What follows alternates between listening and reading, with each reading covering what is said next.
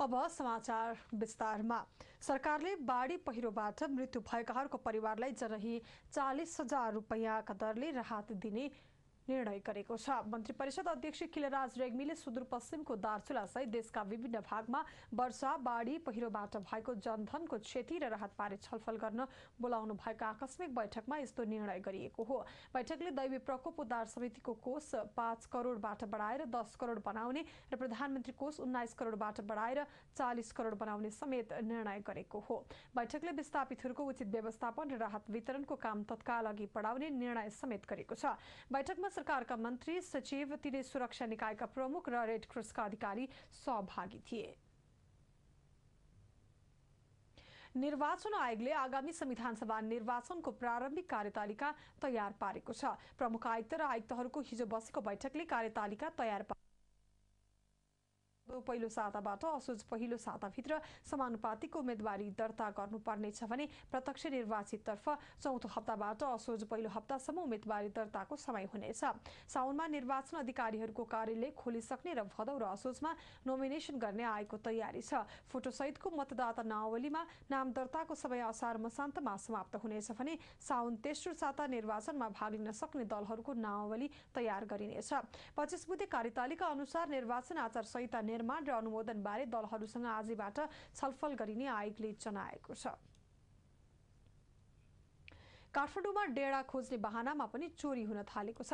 Laptop बोकेर फलादी पारामा डेडा खोज्दै हिँड्ने व्यक्तिहरू पनि चोर हुन सक्छन्। चोरीका घटना बढ्दै जाँदा चोरहरूले आफ्नो शैलीमा पनि परिवर्तन गरिरहेका छन्।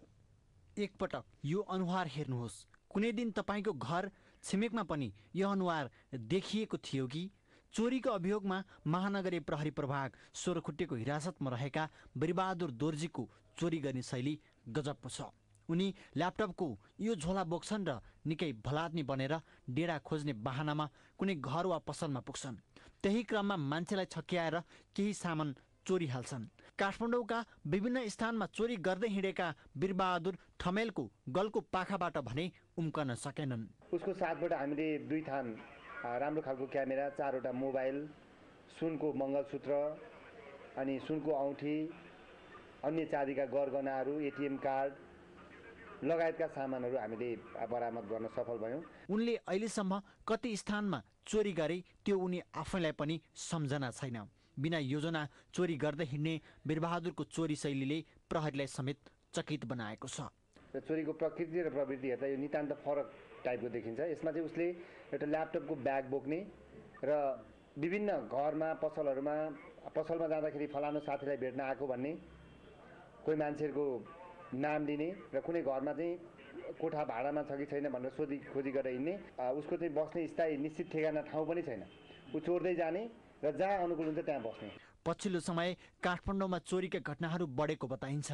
प्रहरीले चोरीमा संलग्न केही व्यक्तिहरूलाई पक्राउ गरेपछि चोरहरूले आफ्नो शैली पनि परिवर्तन गर्न थालेको देखिएको छ। क्यामेरामा सुशील बास्कोटाका साथ रमेश दमला हिमालय टेलिभिजन काठमाडौँ।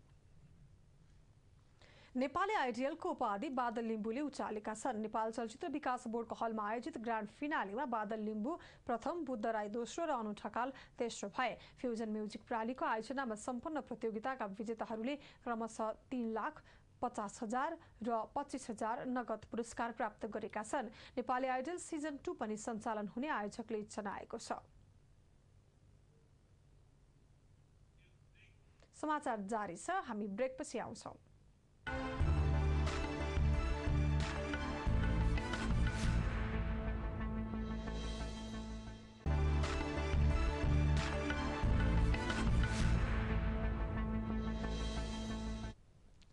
ब्रेकपछि पुनः स्वागत छ। अब अन्तर्राष्ट्रिय समाचार।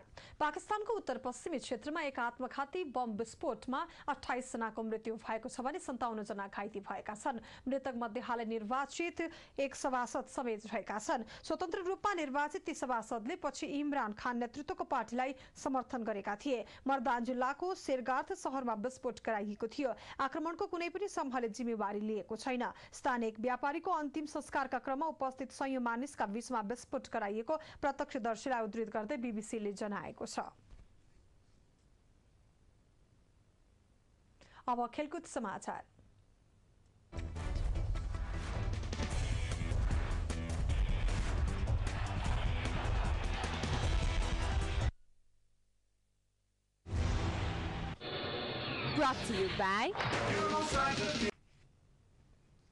बिदा हुनु अघि अहिलेसम्मका प्रमुख समाचार फेरि एकपटक।